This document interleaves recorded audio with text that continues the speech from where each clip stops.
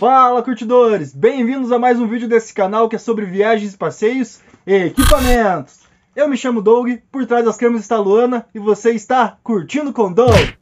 E hoje a gente vai estar fazendo o unboxing da nova Insta360 One RS, que é a atualização, a melhor versão da famosa Insta360 One R. Agora para explicar só um detalhe para vocês, galera, antes de fazer o unboxing, para quem conhece a Insta360, sabe que ela é uma câmera modular. E quando eu comprei a opção lá no site do AliExpress, eu comprei a opção 4K, que é uma opção mais simples do que a Twin Digital que vem com duas lentes, uma grande angular e a outra 360.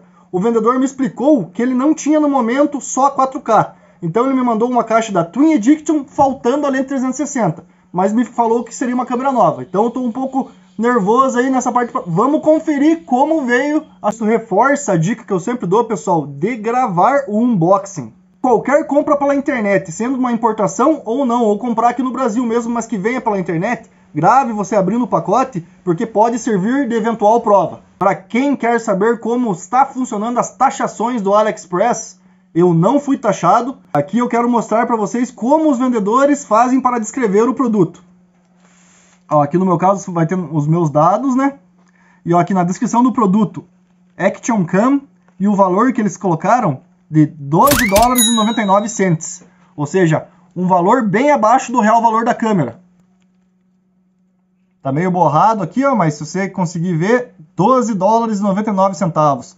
Então é um valor bem abaixo do valor real da câmera e o nome que o vendedor coloca é um nome de pessoa física para a pessoa física, que a lei aqui no Brasil permite até 50 dólares de pessoa física para a pessoa física, mas nesse caso foi de uma empresa. Mas mesmo assim eles colocaram o nome de uma pessoa física.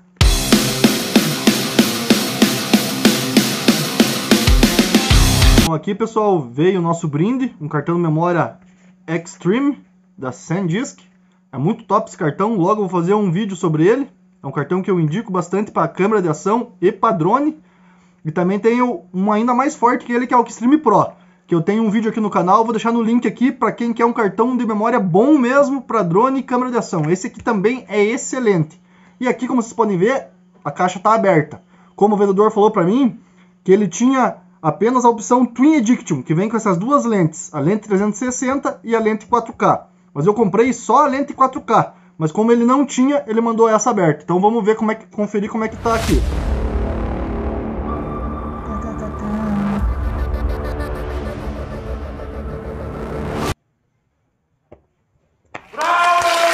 Está a nossa câmera One RS da Insta360. A nova versão atualizada da One R, que eu logo vou mostrar para vocês. É uma câmera realmente muito bonita, como vocês podem observar aqui. Então, como eu estava falando para vocês, curtidores, essa é uma câmera modular, que significa que ela é modular. Ela é formada por três partes: o núcleo, que funciona como o cérebro da câmera, a lente e a bateria. Continuando com o que vem na caixa, pessoal, fazendo o unboxing da nova Insta360 One RS.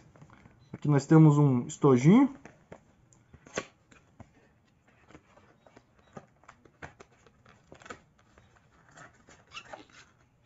Vem com um cabo USB tipo C muito parecido com o da outra câmera. Vem com a nova case,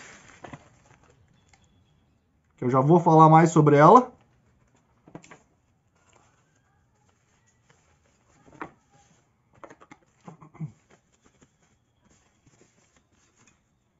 Vem com os adaptadores para fixar no capacete e no tripé.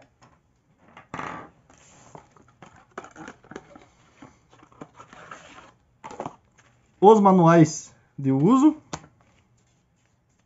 silica, o paninho para limpar as lentes e os adesivos.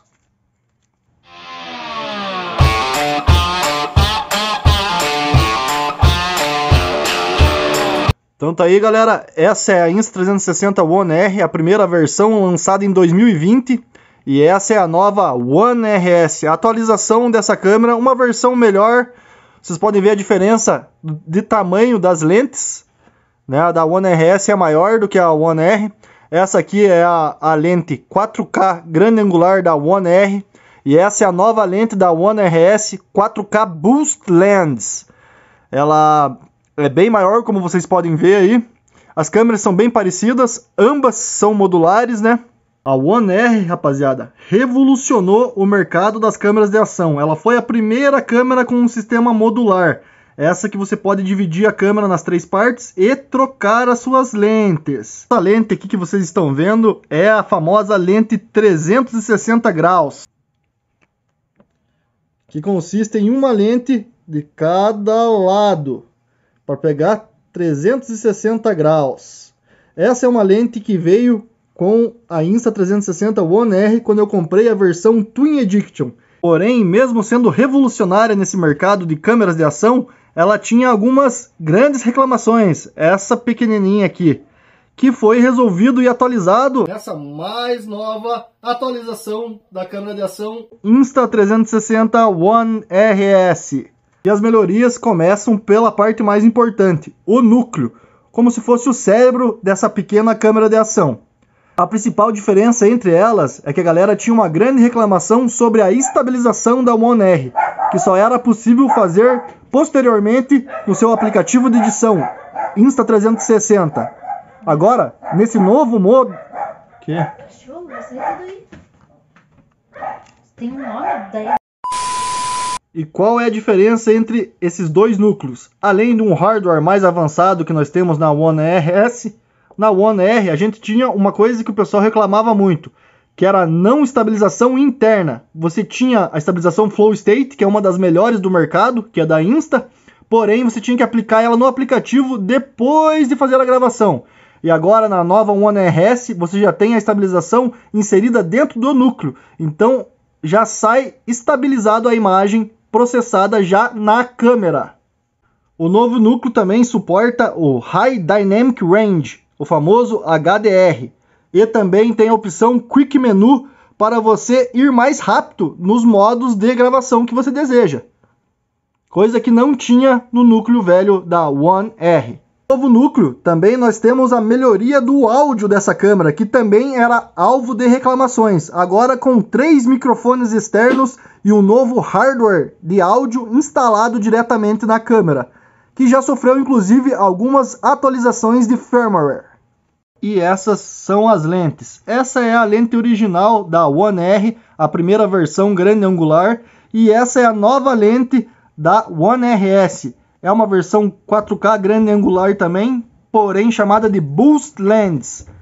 E ela tem novas definições, como por exemplo widescreen em 6K, Cinematic, muito foda, galera. E a diferença de fotos é gritante. Essa menininha aqui, nós vamos ter 12 megapixels no máximo de foto. E essa aqui, 48 megapixels. É gritante a diferença. Muito mais profissional essa nova lente da Insta360 One RS. E aqui nós temos as baterias. Essa bateria da One R e essa bateria da One RS.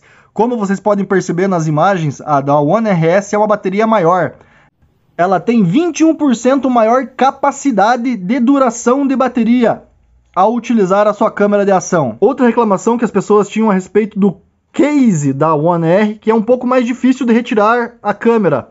E agora o novo case que é muito mais fácil, eu já vou mostrar para vocês as diferenças. Essa é a case velha, ou aliás, da One R. Ela é a seguinte, para você conseguir abrir, abrir, para você conseguir abrir ela, você vai ter que puxar esse lacrezinho de segurança e puxar essa parte para cima. Assim conseguindo liberar o case para assim retirar a câmera. Logo mostraremos com a câmera, mas só para vocês entenderem aqui. Para fechar, a mesma coisa. Correto? E agora a nova case.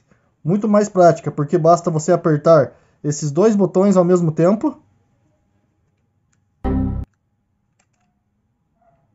Essa é a nova case da One RS, muito mais prática porque basta você apertar esses dois pininhos ao mesmo tempo, que ela abre para você retirar e colocar a câmera. Beleza. E para fechar, a mesma coisa. Aperta os pininhos. Muito mais prático, né, galera? E o melhor de tudo isso, galera, é que ambas as câmeras são compatíveis pelo sistema modular. Ou seja, todos esses acessórios dão certo uns nos outros. Elas têm uma capacidade de compatibilidade muito alta entre esses dois modelos, a One R e a One RS. Algumas pessoas dizem que o velho núcleo não dá certo no novo núcleo, mas a gente vai fazer esses testes na prática. Então, se você tem essas câmeras, quer comprar essas câmeras, se interessa por esse assunto, se inscreva no canal, deixe seu like, porque a gente vai mostrar para vocês tudo na prática e se realmente são compatíveis. Eu sei que o núcleo 360 é compatível com ambas, a única as baterias também.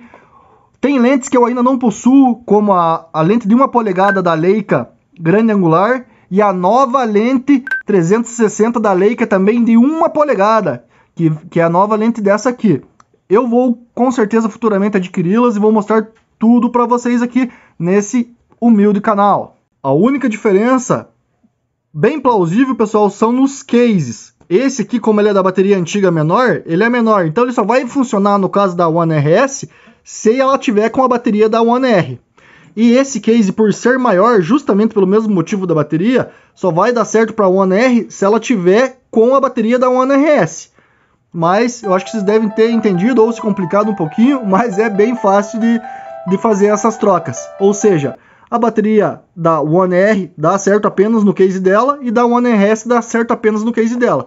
Mas como você pode trocá-las, dá certo também. Bom, galera, e vocês devem estar se perguntando por que eu fiz esse upgrade, essa melhoria e comprei a nova versão dessa câmera, que é a One RS. Bom, o principal motivo é que eu não conseguia encontrar no mercado o adaptador de microfone da One R. Eu simplesmente não consigo achar, ele está em falta e eu não acho em lugar nenhum. Nós aqui, para quem acompanha o canal que fazemos vídeos sobre motociclismo, temos a necessidade de falar dentro do capacete. E isso estava sendo impossível por eu não estar tá encontrando o microfone, o adaptador de microfone da One R. Então eu comprei a One RS para esse adaptador de microfone que eu comprei e vou fazer um unboxing agora no próximo vídeo da semana que vem. Claro que todas essas melhorias aqui são muito boas para a câmera e agora a gente vai ter duas, né, galera? Então vai ficar bem melhor os takes do canal para gravar tanto para frente quanto atrás. Enquanto uma tá gravando com as grandes angulares, a outra vai poder estar tá gravando com a lente 360. Então realmente agora a gente vai ter praticamente três câmeras em duas. Isso vai ser muito bacana aqui para o crescimento do canal. Então esse é o motivo da compra, de eu não estar tá conseguindo encontrar o adaptador de microfone dessa e eu fiz o upgrade para One RS, mas claro, com todos esses benefícios, vai ser de arrasar. O preço delas, galera, é muito semelhante. Inclusive, a One RS está até mais barata em algumas promoções no AliExpress. Se você não tem nenhuma das duas e quer comprar uma Insta, eu aconselho você ir direto na One RS. Se você já tem a One R e está passando pelo mesmo problema que eu, que é não encontrar o, adaptador de microfone, vale a pena você fazer o upgrade, até pela questão dessa lente ser bem mais forte, mas também você pode apenas comprar o núcleo, certo? Você também pode apenas comprar a lente, que é plausível que dê certo. Alguns influenciadores dizem que dão certo, alguns não. Mas eu me informei e eu acredito que dá sim e eu vou fazer esse teste aqui no canal. Então não esquece de se inscrever para confirmar nos próximos vídeos se dá certo ou não dá. Inclusive a gente vai fazer também uma versus a outra, qualidade de imagem e tudo mais. Beleza, galera? Eu comprei, galera, para One R na falta do adaptador de microfone, comprei um microfone paralelo. Cara, eu realmente não gostei da qualidade, eu vou estar tá deixando aí no link para vocês darem uma, uma olhada. Quem está pensando em comprar, eu acho que não vale a pena, não comprem, porque a qualidade fica muito ruim.